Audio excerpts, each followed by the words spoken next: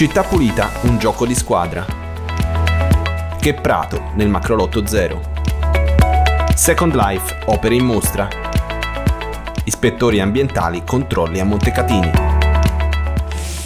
Tenere la città pulita è un gioco di squadra. È lo slogan della nuova campagna di comunicazione di Alia Multiutility che mira al coinvolgimento dei cittadini nella cura degli spazi comuni, chiedendo a ognuno di loro impegno quotidiano e determinazione nel mantenere al meglio il decoro e la bellezza delle rispettive città. Noi abbiamo una tassa odiosa di 20 milioni di euro l'anno che spendiamo per curare i nostri territori dall'inciviltà di chi abbandona i rifiuti. Vogliamo abbattere questa tassa, ma per farlo abbiamo bisogno che ognuno dia una mano. La campagna di comunicazione realizzata dall'agenzia BAM è pensata sia per i territori dove la raccolta avviene con i cassonetti, che per i territori dove la raccolta è porta a porta. Non basta l'azione della eh, dei nostri operatori, eh, ma c'è bisogno che tutti i cittadini, che tutte le imprese siano eh, attivi e si sentano eh, responsabili dei gesti che fanno eh, farlo è importante, è importante per l'ambiente, è importante per il decoro, è importante anche per l'economia. Oltre allo spot TV, la campagna di comunicazione presentata al Palavanni, arena inaugurata due anni fa, sarà arricchita anche da uno spot radio, da manifesti, cartelloni e banner digitali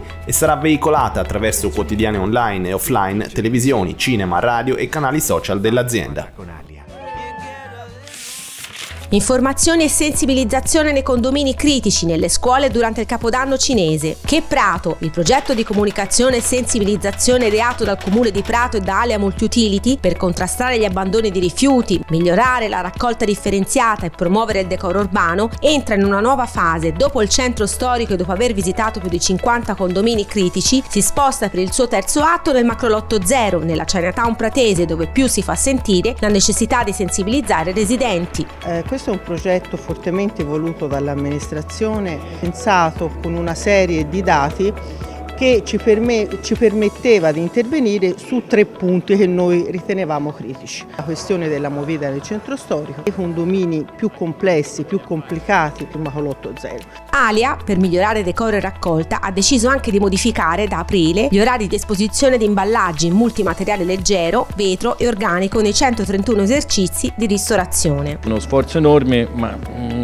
come, come spesso detto non può bastare se non c'è un coinvolgimento di tutta la popolazione. Alia, tra l'altro, sempre dal prossimo aprile metterà in funzione nel macrolotto zero nel centro storico una nuova lavastrade che quotidianamente pulirà più in profondità strade e marciapiedi quasi 400 artisti coinvolti nell'arco degli ultimi tre anni e una riflessione originale e in continua evoluzione sul tema del mondo in trasformazione, soprattutto dal punto di vista ambientale, capace di ispirare a quegli stessi artisti, tutti con meno di 28 anni di età, narrazioni e lavori che riguardano l'intero ciclo della sostenibilità ambientale, sociale e anche economica. Sono i punti di forza di Second Life Tutto Torna, primo concorso artistico a livello nazionale incentrato sul tema arte e sostenibilità, arricchito da laboratori dedicati a studenti e associazioni promosso da Alia Multiutility e giunto quest'anno alla sua terza edizione.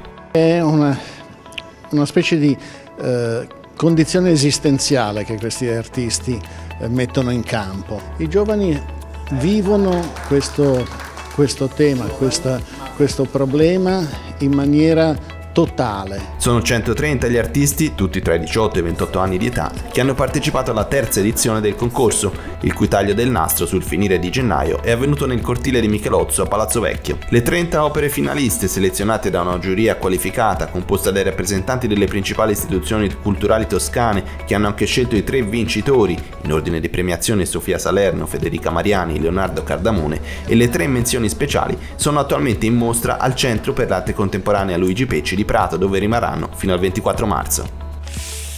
A Montecatini Terme, i due ispettori ambientali di Ale Multiutility Toscana, in servizio dal luglio dello scorso anno su tre turni settimanali, hanno eseguito 954 controlli, ispezionato 1434 rifiuti con 42 sanzioni per un valore di 4.900 euro. Sono stati invece 165 controlli di pronto intervento ambientale, avvenuti su segnalazioni di comune, cittadini e polizia municipale, con 450 rifiuti ispezionati e 23 sanzioni, per un valore complessivo di 2.500 euro.